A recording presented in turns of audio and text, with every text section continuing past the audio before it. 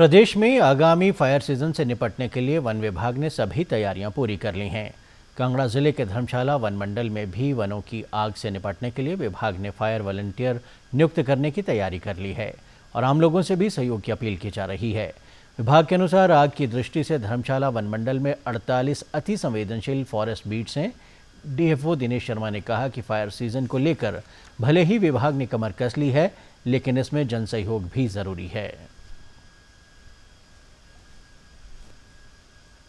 हमारी जो है इस समय 48 जो बीट्स निकल के आ रही हैं, ये अति संवेदनशील हैं, जिनमें लगभग हर वर्ष अग्नि की घटना होती है।